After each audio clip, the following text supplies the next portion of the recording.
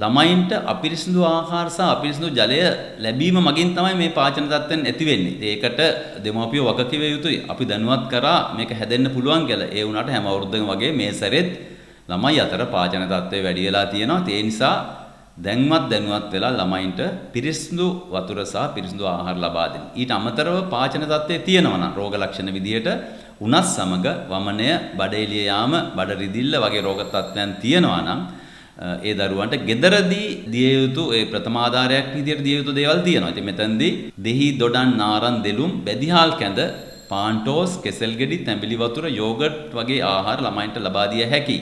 වමනේ තියෙනවා නම් ඒකට ප්‍රතිකාර ලබා ගන්න. මොකද වමනේ දිගට තිබුණොත් බොන්න බැරි වෙනවා. ඒ මගිනුත් විජලනය ලේසියෙන්ම ඇති වෙන්න පුළුවන්.